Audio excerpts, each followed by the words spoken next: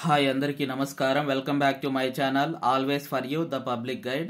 గ్రామ వార్డు సచివాలయ ఉద్యోగులు గత కొద్ది రోజులుగా ఎదురు చూస్తున్న డిపార్ట్మెంటు పరీక్షల ఫలితాలు విడుదల కావడం జరిగింది.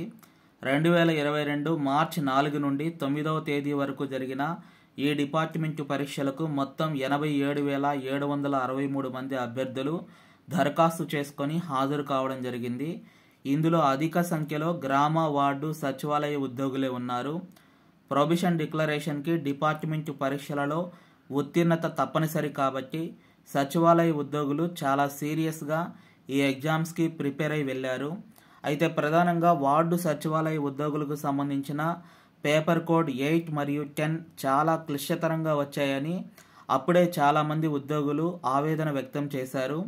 దానికి తగినట్టుగానే ఈరోజు వచ్చిన ఫలితాలలో పేపర్ కోడ్ ఎయిట్ కేవలం నాలుగు వందల అరవై తొమ్మిది మంది మాత్రమే పాస్ కావడం జరిగింది. అలాగే పేపర్ కోడ్ టెన్ కూడా కేవలం ఆరు వందల ఎనభై ఆరు మంది మాత్రమే పాస్ కాబడ్డారు.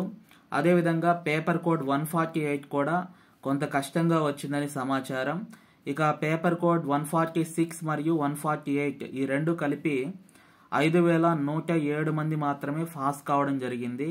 గత నెల నాలుగు నుండి తొమ్మిది తేదీల మధ్య జరిగిన ఈ డిపార్ట్మెంట్ పరీక్షలకు సంబంధించి ఏపీపీఎస్సి వారు రెస్పాన్స్ షీట్ను కానీ ప్రైమరీ కీని కానీ అలాగే ఫైనల్ కీని కానీ అభ్యర్థులకు అందుబాటులో ఉంచలేదు.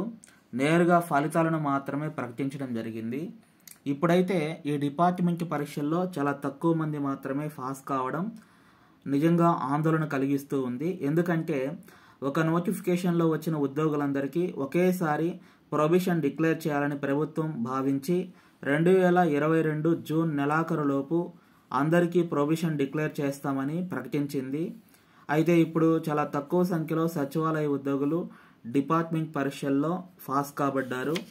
ఈ విషయంలో ప్రభుత్వం ఎలాంటి నిర్ణయం తీసుకోనుందో అని డిపార్ట్మెంట్ పరీక్షల్లో పాస్ అయిన మరియు పాస్ కానటువంటి సచివాలయ ఉద్యోగులందరూ కూడా కొంత కొంత ఆందోళనతో ఎదురు చూస్తూ ఉన్నారు. సో అదండి ఈ న్యూస్లోని update. Thank you for watching